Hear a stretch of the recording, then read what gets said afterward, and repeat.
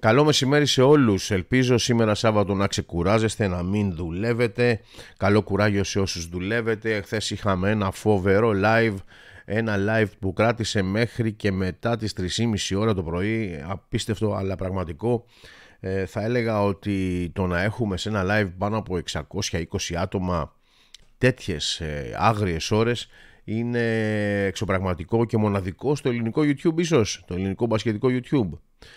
Θα σας ευχαριστήσω για άλλη μια φορά και πάμε όμως τώρα στα βίντεο και θα ξεκινήσουμε με το βίντεο του Ολυμπιακού. Να πούμε τι ακριβώς είδαμε αυτή την εβδομάδα από τον Ολυμπιακό που έκανε δύο νίκες, δύο δύσκολες νίκες, αλλά αυτές οι δύο νίκες ήρθαν και κόλλησαν στις άλλες δύο που πέτυχε επί της Βίλερ και της Άλμπα και είναι πλέον τέσσερις σερί.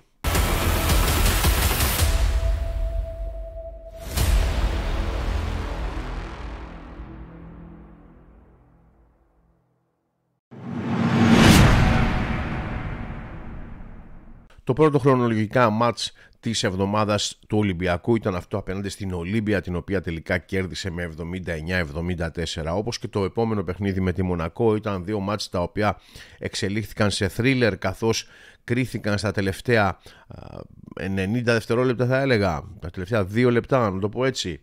Ένας Ολυμπιακός ο οποίος ε, φαινόταν να ελέγχει το παιχνίδι απέναντι στην Ολύμπια όμως ένα θα έλεγα ξέσπασμα των ε, Ιταλών και κάποια λάθη ε, επιθετικά κάποιες λάθος επιλογές στην επίθεση του Ολυμπιακού έφεραν στην ισοπαλία το παιχνίδι όμως ο Ολυμπιακός και ο Coach B αντέδρασαν την κατάλληλη στιγμή με μια κίνηση κλειδί θα έλεγα την είσοδο ξανά στο παρκέ του Μουσταφά Φαλ με το που μπήκε στο τέλος ο Μουσταφά Φαλ όχι μόνο άλλαξε τον ρου της ε, αναμέτρησης αλλά ήταν θα έλεγα ο άνθρωπος ο οποίος χωρίς να σκοράρει, έτσι, ε, μπόρεσε και δημιούργησε την, τους, τις προϋποθέσεις για να πετύχει ο Ολυμπιακός τους απαραίτητους πόντους για να κερδίσει τελικά με 5 πόντους διαφορά. Τι ακριβώς εννοώ. Ο Μουσταφά Βάλ τελείωσε το παιχνίδι με 12 πόντους, 6 rebound, θα μου πείτε, OK, φυσιολογικό είναι.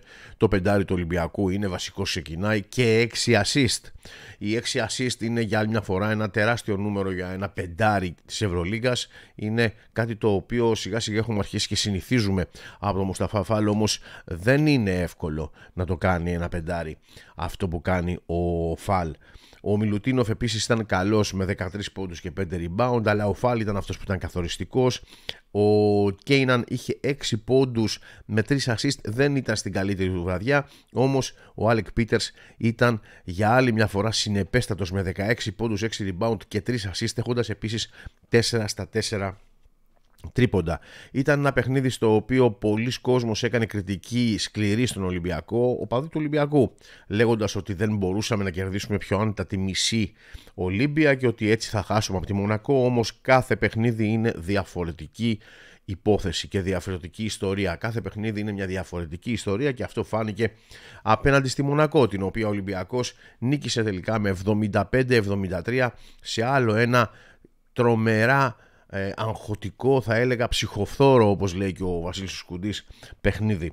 Ήταν ένα μάτς που ουσιαστικά η Μονακό φαινόταν να το ελέγχει όχι ότι είχε κάποια διαφορά ασφαλείας αλλά είχε ένα μικρό προβάδισμα τριών, τεσσάρων πόντων. Ο Ολυμπιακός όμως έμενε κοντά στο παιχνίδι και το γεγονός ότι κατάφερε να μείνει κοντά στο παιχνίδι, στο σκόρ εννοώ, ε, του έδωσε στο τέλος την ε, δυνατότητα να κάνει καλύτερες επιλογές, να βάλει δύο πολύ μεγάλα σουτ, κυρίως το τρίποντο του Μακίση φυσικά που ε, προσωπικά θεωρώ ότι έκρινε την αναμέτρηση και να πάρει μια πολύ πολύ σπουδαία νίκη, ίσως την πιο σπουδαία νίκη από την αρχή της σεζόν.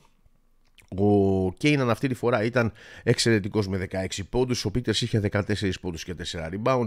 Ο Μακίσικ είχε 13 πόντους. Ο Σακ Μακίσικ, ο οποίος ε, επιστρέφει σιγά σιγά στα παλιά καλά του στάνταρ και διαψεύδει όσους τον ε, ήθελαν να φεύγει από τον Ολυμπιακό, μάλλον ζητούσαν να φύγει από τον Ολυμπιακό γιατί δεν μπορεί να προσφέρει.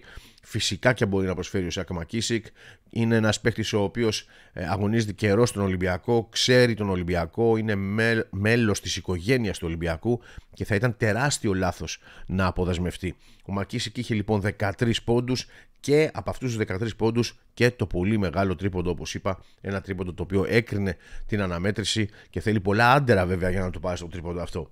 Ο Γόκαπ ήταν επίσης καταπληκτικός, αμυντικά έκανε φοβερή δουλειά κυρίως πάνω στον Mike James, τελείωσε το παιχνίδι με 9 πόντους, 7 rebound, 9 assist και είχε επίσης και μόλις ένα λάθος ένα λάθος το οποίο έγινε λίγο πριν τη λήξη σε, κάτι, σε κάποια βήματα που έκανε και φοβηθήκαμε μήπως είναι καθοριστικό. Φοβερός λοιπόν και ο Τόμας Γόκαπ, ο Ολυμπιακός πέτυχε μία νίκη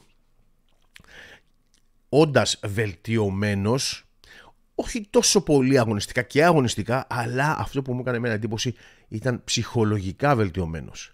Είναι κάτι το οποίο φαίνεται, ε, είναι, ε, εμένα τουλάχιστον μου έδινε αυτή την εικόνα ότι ο Ολυμπιακός έκανε μια νίκη δήλωση απέναντι στη Μονακό θέλοντας να πει ότι εμείς είμαστε εδώ, εμείς είμαστε αυτοί που ήταν πέρσι φιναλίστ που χάσαμε από, μια, από ένα σουτ το τρόπεο και δεν θα πεθάνουμε εύκολα. Και είναι κάτι που λέω συνέχεια το έχω πει και στο live Ολυμπιακός είναι μια ομάδα που δεν πεθαίνει εύκολα.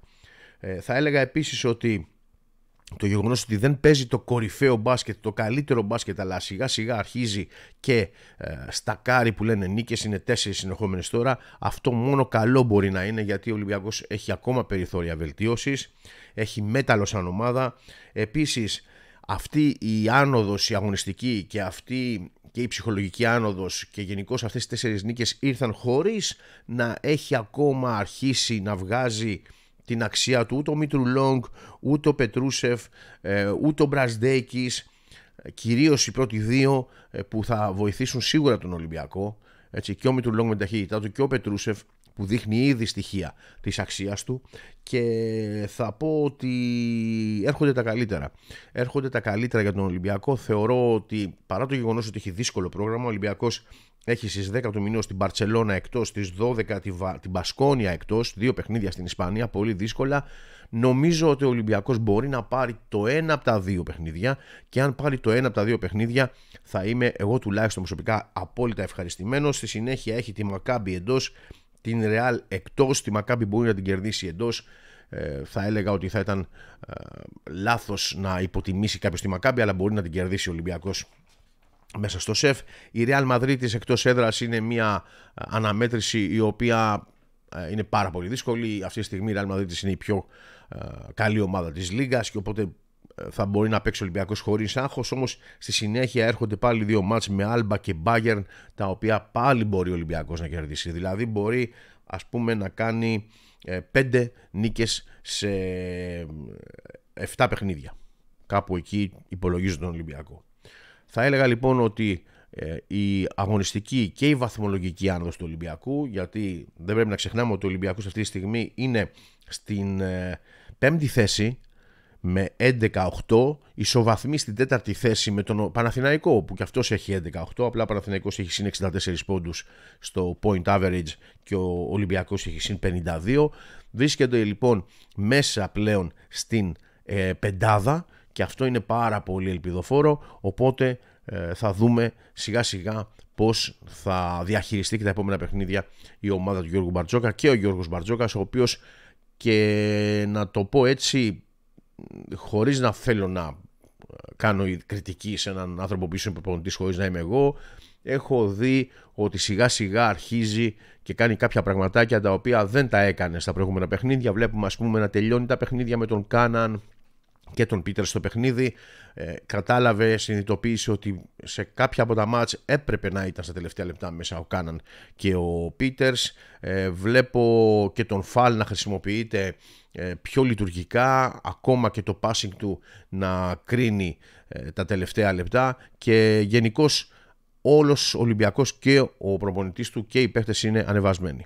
Αυτά για την διαβολοδομάδα όπως τη λέμε εμείς εδώ ε, για τον Ολυμπιακό που έκανε δύο νίκες. Πάει καλά ο Ολυμπιακός, τέσσερις συνεχόμενες νίκες ελπίζω για περισσότερες. Εμείς θα τα πούμε στο επόμενο βίντεο. Ευχαριστώ που μείνατε μέχρι το τέλος